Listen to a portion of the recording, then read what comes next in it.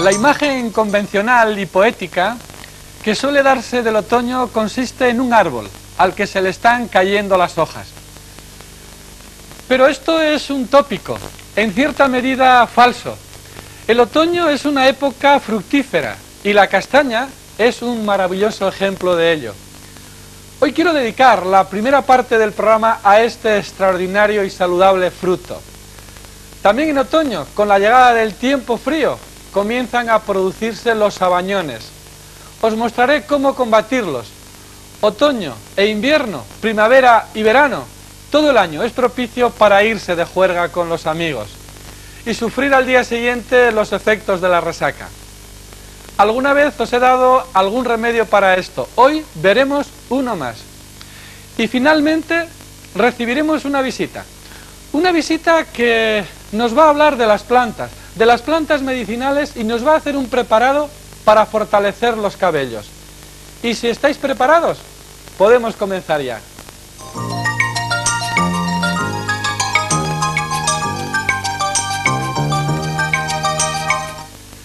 ¿Que tenéis sabañones? Remedio que va fenomenalmente bien, vuestra propia orina, tanto en los pies como en las manos. Empapáis con vuestra propia orina la zona afectada y si es en los pies ponéis un calcetín y si es en la mano ponéis un guante. Empapáis bien la zona del sabañón en la orina vuestra y dormís con un guante. Veréis que es cierto que decían las abuelas que este remedio es mano de santo.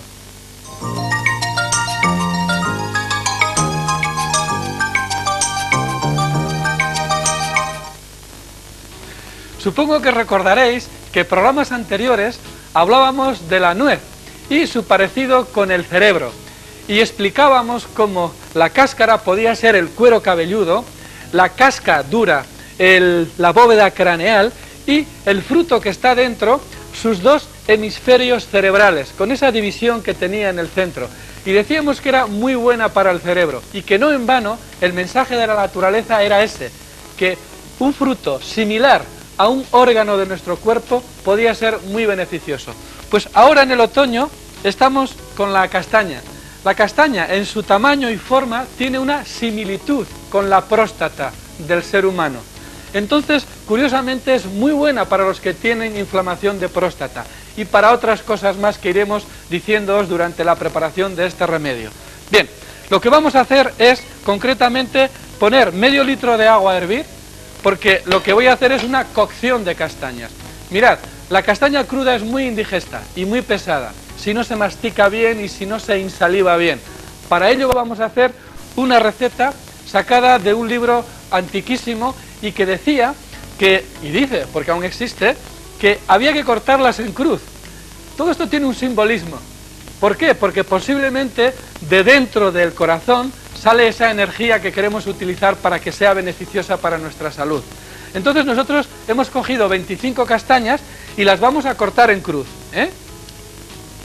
Simplemente por no ir en contra de la tradición. Y en medio litro de agua lo que vamos a hacer es ponerlas a hervir. ¿Cuánto tiempo? Hombre, dependiendo del tamaño, pues habrá que estar más o menos tiempo, pero entre 10-12 minutos es suficiente para hervirlas y que éstas sean más digestivas, para que no tengamos esa dificultad con el estómago cuando las comemos crudas, que son bastante indigestas, bastante pesadas. ¿eh? Bien, entonces las cortamos en cruz y las introducimos para hervirlas. Bien, eh, yo he puesto medio litro de agua, pero bueno, esto, la cantidad es lo de menos, simplemente para que se hiervan. Bien, una de las cosas, ahora las tendremos entre 10 y 12 minutos para que, para que hiervan. Otra de las cosas que os quiero comentar también es que la castaña es un gran fortalecedor del cerebro, de la memoria y del riego. Y las personas que tienen problemas de inflamación de varices o de inflamación de hemorroides, va fenomenalmente bien para ellas. Fijaos qué fruto nos ofrece el otoño tan interesante para todos esos problemas que os acabo de mencionar al ser humano. La próstata, curiosamente, se parece el fruto al órgano próstata que tiene el ser humano, incluso en tamaño y en forma. ¿eh? y todas estas eh, propiedades que tiene. Es un gran alimento proteico y sobre todo sabéis que tiene una gran cantidad de minerales que son, van a fortalecer el cerebro. Bien, como esto tiene que hervir entre 10 y 12 minutos, ¿qué os parece si tomáis nota de todo lo que os he dicho para que no se os olvide?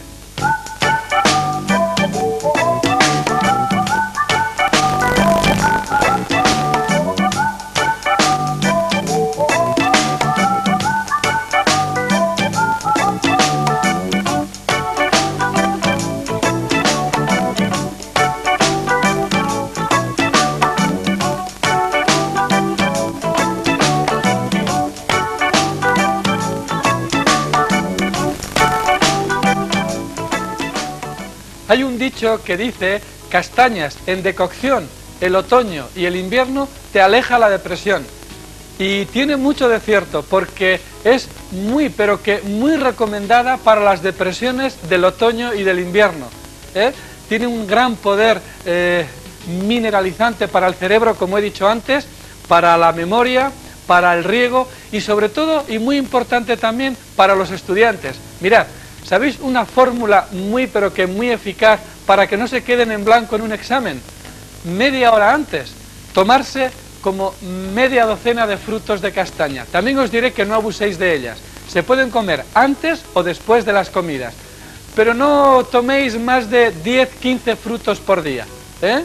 Acordaos, 10 o 15 frutos por día. Y cuando vayáis a un examen, media hora antes, podéis hacer, coger seis castañas que ya previamente las habéis cocido y tomarlas. Esto es un buen truco para no quedaros en blanco en un examen, porque lo que hace es ayudaros a memorizar. ¿eh? Tenedlo muy en cuenta porque son consejos pero que muy muy interesantes los que os doy. Bien, han pasado ya unos 13 minutos aproximadamente, pienso que ya están ya cocidas, vamos a comprobarlo. Vamos a sacar unas cuantas para que veáis cómo quedan. No tiene ningún misterio esto de cocer castañas, pero bueno, en principio que sean lo suficientemente... Vamos a retirarlas ya.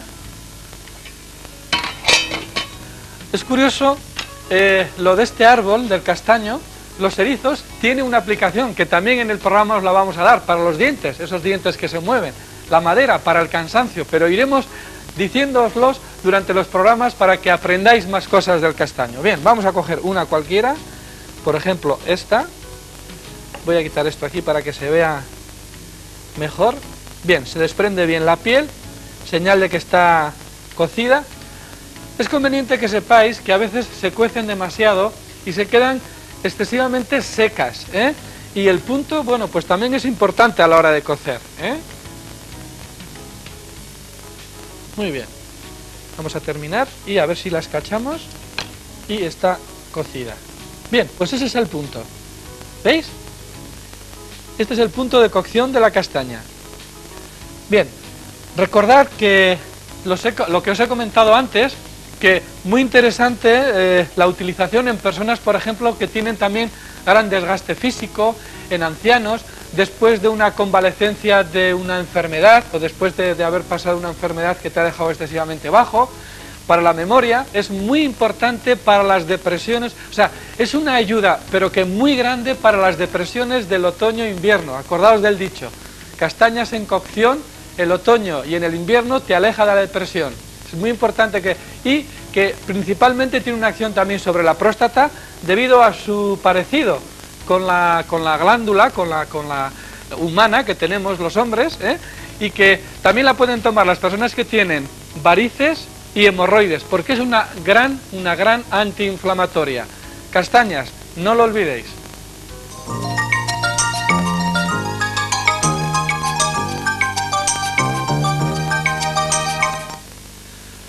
Hoy es viernes social y habitualmente aprovechamos para salir de casa por las noches a cenar con los amigos, las mujeres, las novias, etc. Mañana es sábado, familiar, y el domingo a descansar. Pero el remedio es para los viernes, para cuando nos vamos de juerga. ¿Qué tenéis que hacer? Lo siguiente. Hacer 50 gramos de perejil, hervir en medio litro de agua durante 7 minutos. Tomar la mitad antes de la juerga y la otra mitad cuando volváis de la juerga. Y no olvidéis ayudar a vuestro hígado a desintoxicar el alcohol que hemos tomado la noche anterior. Durante ese día tomar ensalada de pepino. Os va a ir, pero que muy bien.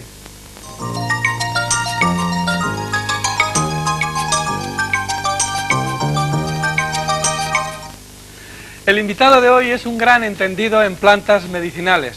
No en vano ha escrito más de 12 libros. Y él se encuentra aquí con nosotros y se llama Juan Mugarza. Buenas tardes. Buenas tardes.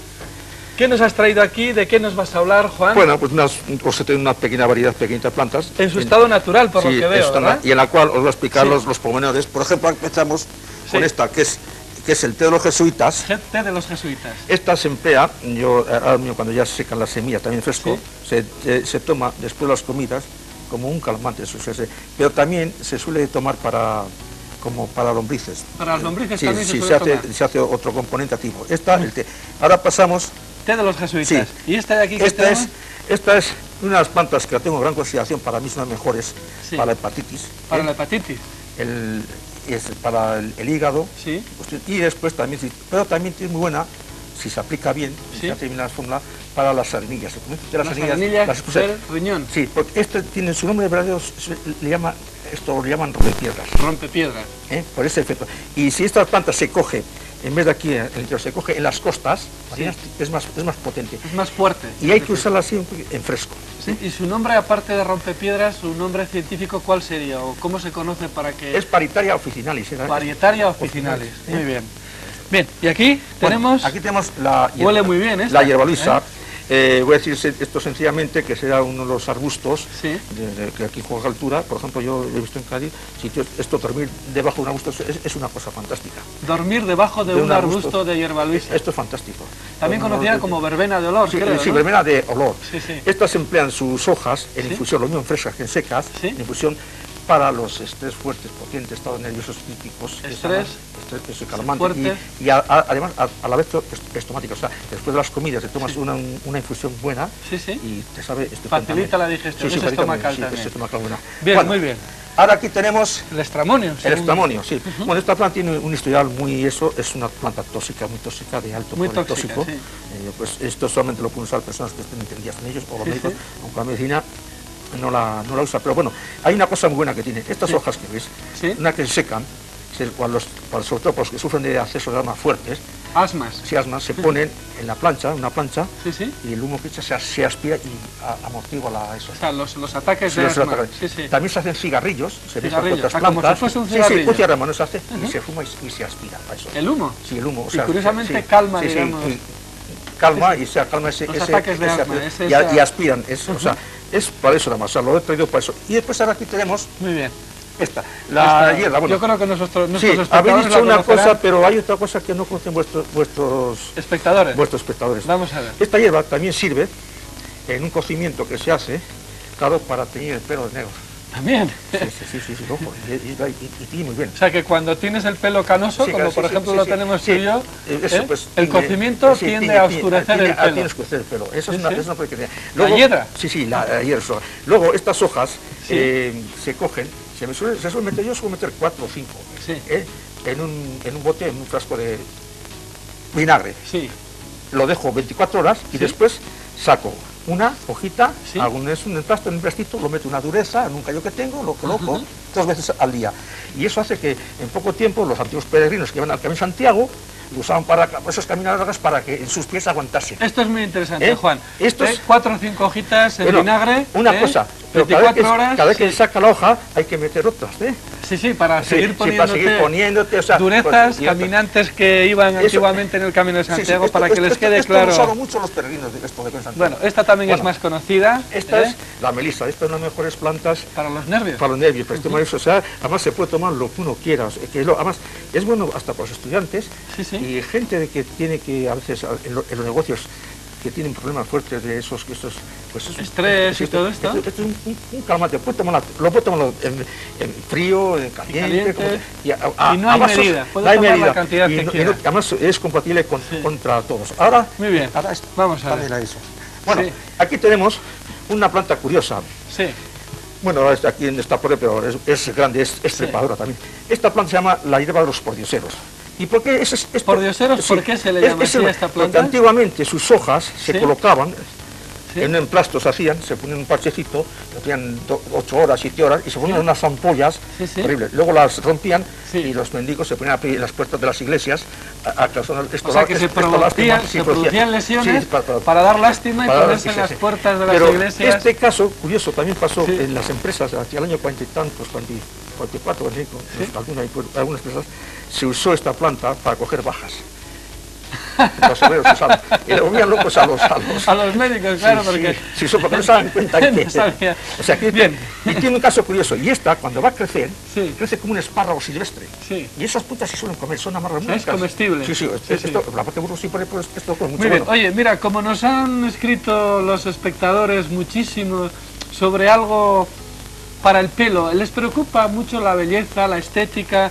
¿Qué Ah. te parece si les preparamos alguna cosa que tú Ah. conozcas referente para hacer algún tónico o algo para fortalecer el pelo? Juan, ¿qué te parece? Pues casualmente aquí he traído Sí, tres productos para ¿Qué hacer son, por ejemplo? lo más... Nómbralos, Las raíces de ortiga. raíces de ortiga, El romero. El romero. silvestre, el ciprés común. el ciprés común. Y bueno, y aquí he traído, mm, si quieren apuntar un poquito, para que no se confunda cuando cojan, porque aquí hay muchos cifrés, pero Sí. este es falso de Sí. Ronson.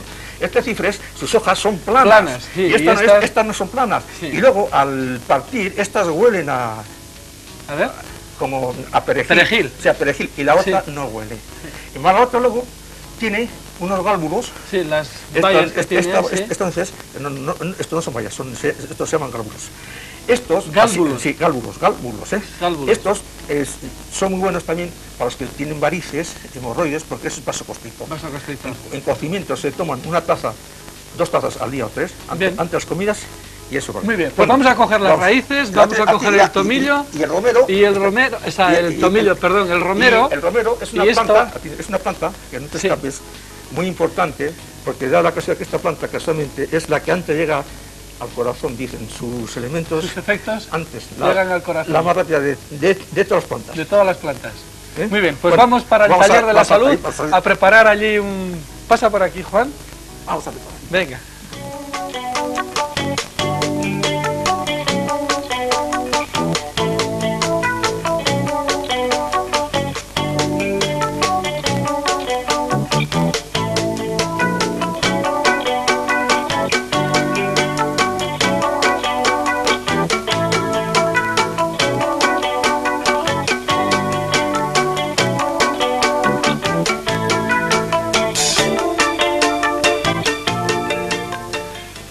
Os vamos a preparar una receta de Juan Mugarza para el pelo. Concretamente es un tónico capilar revitalizante y para la caspa.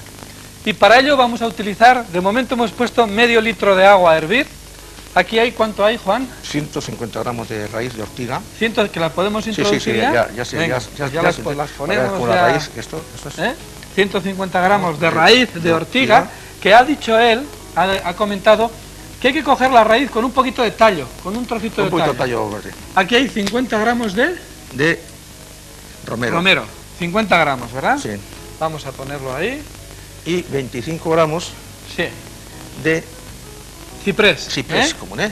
El ciprés, el, el de los cementerios. Sí, el de los cementerios, ese.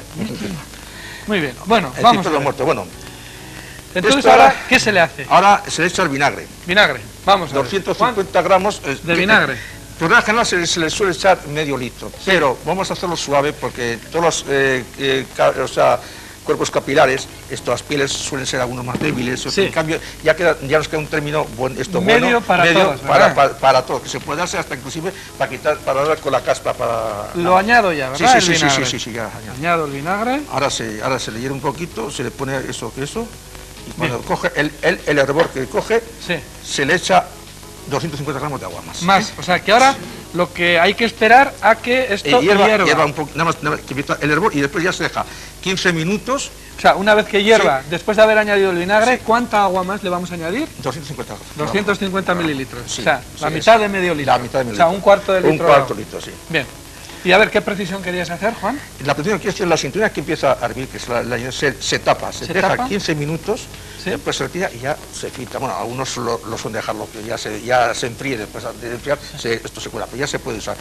Eh, inclusive, eh, quiero dar un- una nota, caso de que alguien no tuviese, porque fuese, porque el romero es difícil de buscarlo, Sí. es más fácil que encuentre otro, pues también se puede emplear, una vez que se ha terminado el eso, eso ya cuando se ha hecho, Sí. al, ir, al, al meter ya en la botella, pues se le echa, al, si es un, litro, Sí. al litro se le echa aproximadamente 120 gotas de esencia de romero. Ah, o sea que si no encuentran el romero pueden comprar Sí, esencia de romero es y al litro y al- sí, 150 gotas. 120 dice. gotas. 120 Pero gotas. Eso, es- eso es muy fuerte, ¿eh? ojo. ¿eh? Eso es fuerte, Ahora, la si, esencia- si, si lo quiere hacerlo más suave, ¿eh?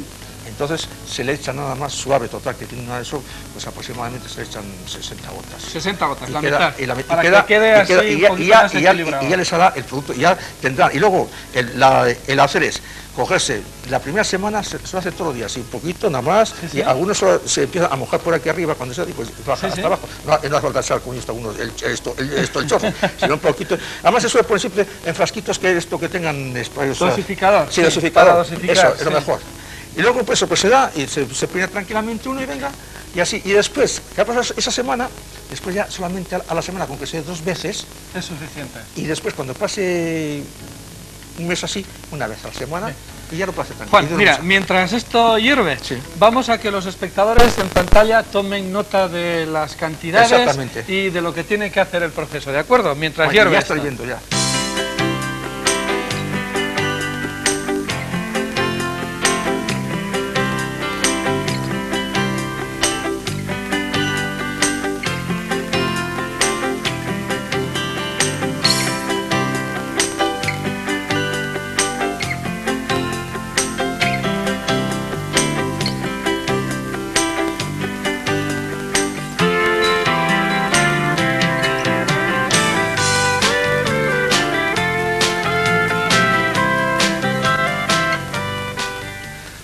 Juan, pues esto ya ha estado 15 minutos sirviendo. ¿eh? Pues nada, ahora lo que vamos a hacer es ya retirarlo del De- fuego, Dejarlo enfriar. dejarlo enfriar Y- para poderse aplicar. ¿eh? aplicar, ya está. Que se aplica en el pelo, acordaos.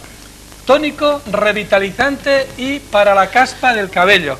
Mirad, para que veáis, ¿eh? lo vamos a pasar aquí a una botellica mientras... Juan, si quiere comentar algo. Ah, esto se dará la primera semana todos los días. ¿eh? Después la segunda semana dos veces. Sí. y después ya la, cuando ya pase ya la tercera semana, pues una vez a la semana o dos, pues se da uno y ya está.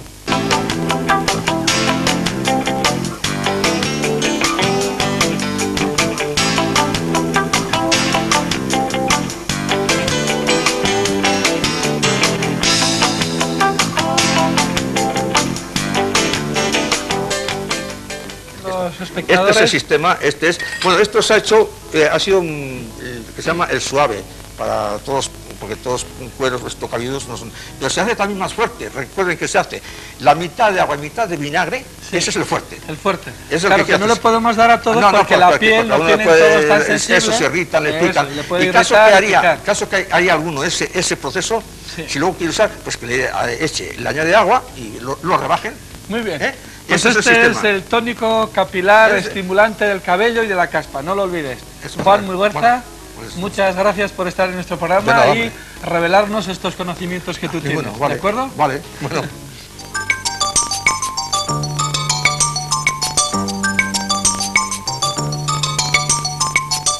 Hoy es viernes y dentro de pocas horas comenzará para la mayoría de vosotros un nuevo fin de semana. Tenéis ante vosotros una nueva oportunidad de comenzar a retocar alguno de vuestros hábitos. Esto está bien, pero recordad, ante todo, que hay que disfrutar del ejercicio moderado y también hay que relajarse. Con estos dos consejos sencillos, conseguiréis rebajar vuestro nivel de estrés y aumentar vuestra vitalidad. Hasta el lunes, feliz fin de semana. Cuidado con la bebida y con las resacas.